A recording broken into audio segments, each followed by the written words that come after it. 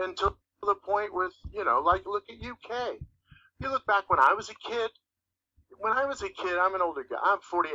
When I was a kid, the you know the UK was all white. They were all white and had crooked teeth, and that's it. Now I, I went to London at 14, and it looks like it looks like Atlanta. And you know, it's just not. How do you preserve that culture? We have staff